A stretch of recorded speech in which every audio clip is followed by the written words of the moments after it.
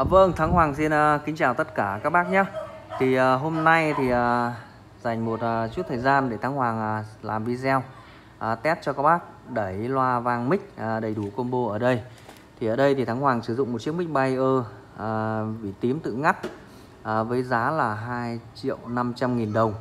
Uh, một con vang X6 uh, model cao mã M9. Đấy, à, dòng vang này rất là đẹp thì Thắng Hoàng giới thiệu rất là nhiều lần cho các bác rồi. Ở trong những video lần trước với giá là 2 triệu 700 nghìn đồng.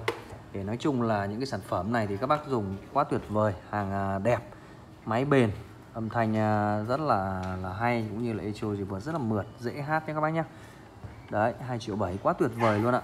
Đấy dòng vang 5.1 5.1 để chọn được những con vang âm thanh à, hay như con vang này à, đấy là một điều cũng rất là là là, là khó khăn. Đấy, chứ còn à, để mà quảng cáo âm thanh hay thì à, cũng không thiếu cái nào cũng có thể hay được nhưng mà quan trọng là xử lý như thế nào cho nó hay đấy mới là điều quan trọng. Đấy. À, và khi một con vang hay thì nó không nằm ở cái tầm giá thấp.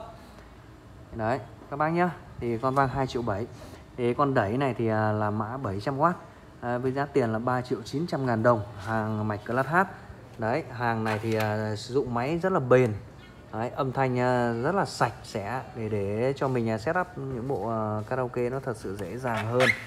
Đấy các bác nhé 3 triệu 900 ngàn đồng đầy đủ như tất cả những cái cái cái thiết bị rất là hay cho các bác luôn. Đấy à, em chỉ sử dụng có một đôi loa TSG Bass 25 thôi TSG Bass 25 thôi. Thì bây giờ em sẽ test karaoke trước cho các bác nghe rồi một lát nữa thì em sẽ test cái nhạc uh, nhá. Nha em sẽ test test nhạc uh, có lời Gmix cho các bác. Xin mời các bác à, nếu như có nhu cầu à, tư vấn đặt hàng những sản phẩm ở bên cửa hàng em thì liên hệ cho em qua số 0969 800 985 ở đây. Đấy, bây giờ thì xin mời các bác nhé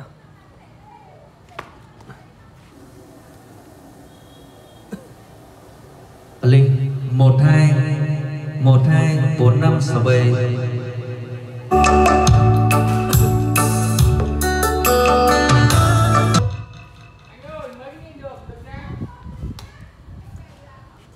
Vâng bây giờ thì à, test một chút gì remix cho các bác nha